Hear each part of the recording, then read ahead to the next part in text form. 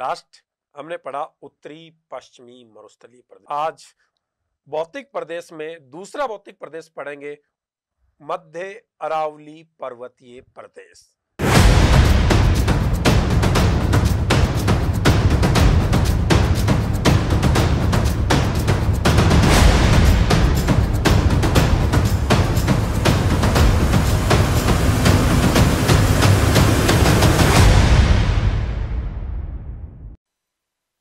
नमस्कार दोस्तों, स्वागत है आप सभी का। दोस्तों, हम बात करें राजस्थान ज्योग्राफी की। और राजस्थान ज्योग्राफी में आज भौतिक प्रदेश में दूसरा भौतिक प्रदेश पढ़ेंगे मध्य अरावली पर्वतीय प्रदेश। लास्ट हमने पढ़ा उत्तरी पश्चिमी मरुस्थलीय प्रदेश। आ जाओ प्यारे विद्यार्थियों हेडिंग बनाओ। मध्य अरावली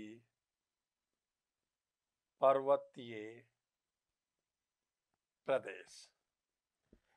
क्लियर देखिए दोस्तों, ये जो अरावली पर्वत श्रृंखला है, ये भारत की नहीं, मैं क्या कह रहा हूँ आपसे, भारत की ही नहीं, ये विश्व की प्राचीनतम पर्वत श्रृंखलाओं में से एक है। यह विश्व की प्राचीनतम पर्वत श्रृंखलाओं में में एक है। कौन? अरावली पर्वत। अब सुनो ध्यान से। अब आपसे पूछे कि राजस्थान की सबसे प्राचीन पर्वत श्रृंखला क्या कहोगे? अरावली पर्वत श्रृंखला। भारत की सबसे प्राचीनतम पर्वत श्रृंखला अरावली पर्वत श्रृंखला। और ये विश्व की प्राचीनतम पर्वत श्रृंखलाओं में एक है। इसकी तुलना, ये वेरी इंपॉर्टेंट क्वेश्चन इसकी तुलना है वो उत्तरी अमेरिका महाद्वीप के, ध्यान सुना, कौन सा महाद्वीप? नॉर्थ अमेरिका, उत्तरी अमेरिका महाद्वीप के।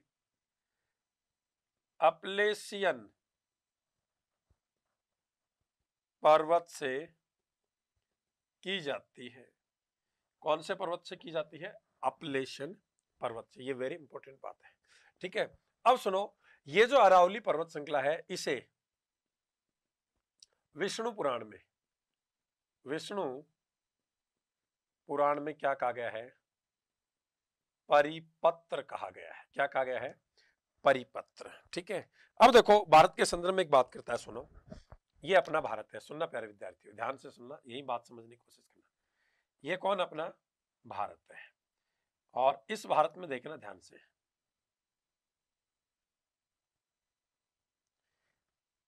ये अरावली पर्वत श्रृंखला इस तरह से कुछ फैली हुई है। ये कौन सा राज्य है? गुजरात।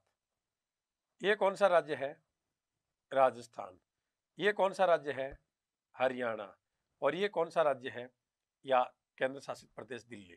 तो आपसे पूछता है कि भारत में दक्षिण से उत्तर की ओर listen to me carefully Bharat में दक्षिण से उत्तर की ओर गुजरात, राजस्थान, हरियाणा और दिल्ली में फैली हुई एक पर्वत श्रृंखला है, जिसे हम किस नाम से जानते हैं? अरावली पर्वत श्रृंखला के नाम से जानते हैं। यहाँ से अगली बात कर ले कि अरावली की उत्पत्ति। वेरी इंपॉर्टेंट है ये। अरावली की उत्पत्ति को लेकर बहुत क्वेश्चन कर लेता। देखो, अरावली की जो उत्पत्ति है, वो आपसे पूछे कि कब हुई? कब हुई? तो आप क्या कहोगे? आज से लगभग पैंसठ करोड़ वर्ष पूर्व आज से लगभग 65 करोड़ वर्ष पूर्व अरावली की उत्पत्ति हुई। आपसे पूछा, अरावली की उत्पत्ति कौन से काल में हुई? कौन से काल में हुई? तो क्या कहोगे? प्री कैम्ब्रियन काल में। अरावली की उत्पत्ति कौन से काल में हुई? प्री कैम्ब्रियन काल में हुई। कितने साल पहले हुई? आज से पैंसठ करोड़ वर्ष पूर्व हुई। दोनों बातें याद रखें। ठीक है? अब देखो, जब अरावली की उत्पत्ति हुई थी, पैंसठ करोड़ वर्ष पूर्व, उस समय हमारी जो पृथ्वी है, वो एक पिंड के रूप में थी। आज जिस तरह से अलग अलग महाद्वीप देख रहे हो, जैसे एशिया महाद्वीप है, यूरोप है, अफ्रीका है, उत्तरी अमेरिका, दक्षिण अमेरिका, अंटार्कटिका, ऑस्ट्रेलिया है ओसानिया महाद्वीप है।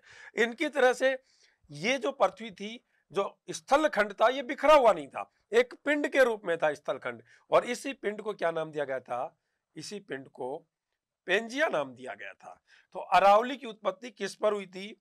पेंजिया पर हुई और कौन सी क्रिया से? पेंजिया के आंतरिक संकुचन के कारण अरावली की उत्पत्ति हुई थी। तो अरावली की उत्पत्ति किस पर हुई? पेंजिया पर हुई। कौन सी क्रिया से? पेंजिया के आंतरिक संकुचन की क्रिया से अरावली की उत्पत्ति हुई। लेकिन यदि आपसे पूछे कि जब इस पेंजिया का विभाजन हुआ, आप जानते हैं दोस्तों, ये घटना तो पैंसठ करोड़ वर्ष पूर्व की, लेकिन आज से लगभग 24.8 करोड़ वर्ष पूर्व की बात करूँ और 24.8 करोड़ वर्ष पूर्व जो काल था, वो ट्रियासिक युग था। ट्रियासिक युग था और इसी ट्रियासिक युग में Pangaea divide into two parts, ये पेंजिया का नॉर्थ और ये साउथ।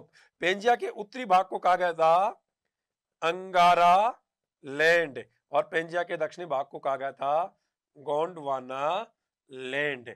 और जब पेंजिया का विभाजन हुआ तो ये जो अरावली है ये कौन से भूखंड पर आ गई? गोंडवाना लैंड भूखंड पर आ गई। तो आपसे पूछा जाए, अरावली पर्वत श्रृंखला कौन से भूखंड का अवशेष है? तो कौन से भूखंड का अवशेष है? क्या कहोगे आप? गोंडवाना लैंड वेरी इंपॉर्टेंट बात। गोंडवाना लैंड भूखंड का अवशेष है। क्लियर अब देखो, इसी अरावली के बारे में आगे और बातें करते हैं। सुनना मेरे प्यारे विद्यार्थियों, जब ये अरावली है इसकी उत्पत्ति हुई थी। तो ये उत्पत्ति के समय कैसा पर्वत था? ऊँचा, वलित, मोड़दार पर्वत। आपसे क्वेश्चन पूछा गया कि अरावली पर्वत श्रृंखला है, वो अपने निर्माण काल के समय कैसा पर्वत था? क्या कहोगे? ऊँचा, वलित, मोड़दार पर्वत, जैसा कि आज हिमालय है। लेकिन प्यारे विद्यार्थियों इसी की स्थिति, वर्तमान स्थिति पूछ ले कि वर्तमान में अरावली कैसा पर्वत है? तो प्यारे विद्यार्थियों, वर्तमान में अरावली है, ये जीर्ण शीर्ण अवस्था में है, अपनी अंतिम अवस्था में है, अपनी वर्धावस्था में है, अर्थात इसने अपना मूल स्वरूप खो दिया है और ये केवल अवशेष के रूप में रह गई है। इसलिए अरावली पर्वत वर्तमान में अवशिष्ट पर्वत कहलाता है। अवशिष्ट पर्वत कहलाता है। वेरी इंपॉर्टेंट बात। तो वर्तमान में अरावली पर्वत कैसा पर्वत है? अवशिष्ट पर्वत है। निर्माण काल के समय कैसा पर्वत था? ऊँचा वलित मोड़दार पर्वत था। ठीक है? तो यहाँ से डायरेक्ट आपसे क्वेश्चन पूछ लेता है। अरावली की उत्पत्ति के बाद हम नेक्स्ट क्लास में प्यारे विद्यार्थियों बात करेंगे अरावली का विस्तार। तब तक के लिए धन्यवाद।